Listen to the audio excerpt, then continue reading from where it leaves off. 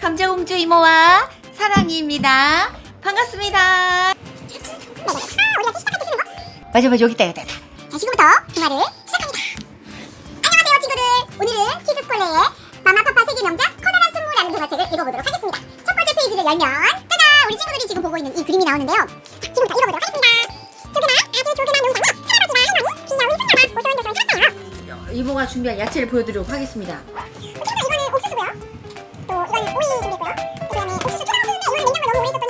그 이모가 읽어주었던 그 책에 나와 있는데 여기 옥수수 안에 한 줄은 빨강, 한 줄은 노랑, 뭐 초록, 파랑 이렇게 한 줄씩 이렇게 그 컬러를 칠한 다음에 드드드드드 하면은 정말 재미있는 도장이 됐고 사실 이거는 먹는 거지만 우리가 오늘만 조금만 그 도장 찍기로 활용을 해보도록 하겠습니다. 먹는 걸로 장난치면 안 돼요. 아 알겠습니다. 먹는 걸로 장난치면 안 돼요? 네, 당연히 안 되죠.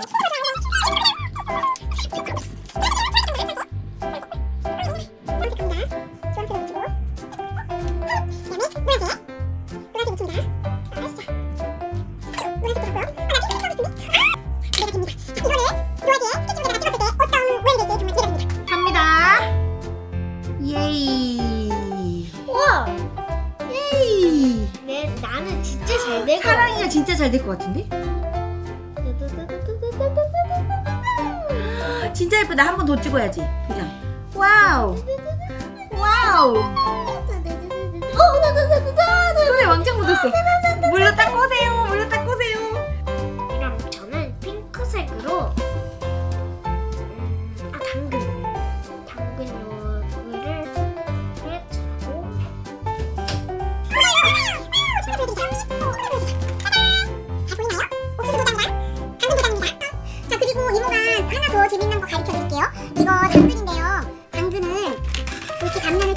잘라가지고 재밌는 도장 만드는 거 보여 알려드릴게요.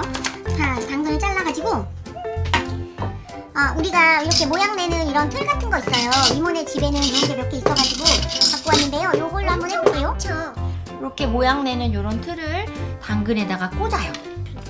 당근에다가 어느 정도 이렇게 꽂은 다음에 꽂은 다음에 여기 주변을 칼로 잘 보이죠? 칼로 이렇게 이렇게 제거해 줍니다.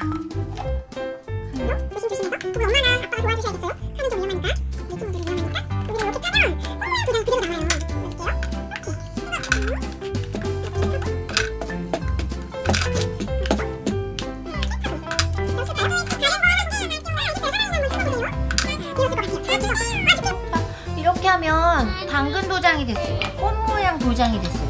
이렇게 열심히 만들어. 도장 찍어보도록 하겠습니다.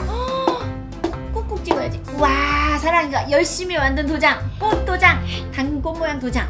좋습니다. 와, 우리 친구들. 너무 예쁘다. 와, 너무 예쁘다. 너무 예쁘다. 이것도 보여주자. 친구들, 사랑이가 미니 파프리카로 찍은 도장이에요. 구멍 있는 거. 재밌죠? 오이도 모양 내줘. 오이도 모양 내줄 때요. 네, 맞아요.